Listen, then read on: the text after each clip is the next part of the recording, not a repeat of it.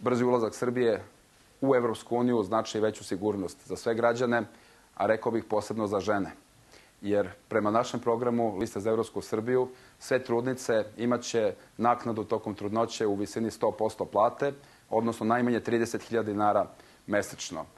A što se tiče evropskih propisa koji će obezbediti sigurnost, mislim da je jako važno da žene koje izlaze na izbore znaju da samo pobeda Evropske Srbije garantuje evropske propise u zaštiti prava žena, posebno u slučaju razvoda braka, kada će morati da se poštuju standardi da oni muževi koji su neodgovorni imaju obavezu da plaćaju alimentaciju za žene, da izdržavaju samohrane majke na način kako je to uređeno evropskim propisima. Dakle, pobeda Evropske Srbije znači pre, viš, pre svega više posla, ali i daleko veću sigurnost za sve građana, posebno za žene.